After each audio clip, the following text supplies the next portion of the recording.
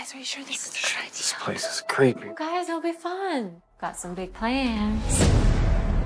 You expect me to cut my hand to bring some vigilante ghost back from his grave?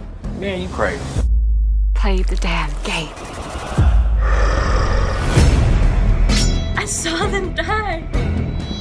They were nothing but rag dolls to him. He was relentless.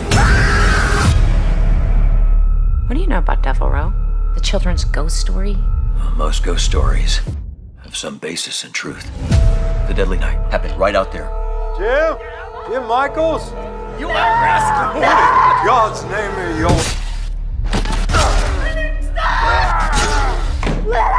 I'm gonna take your life as payment in full!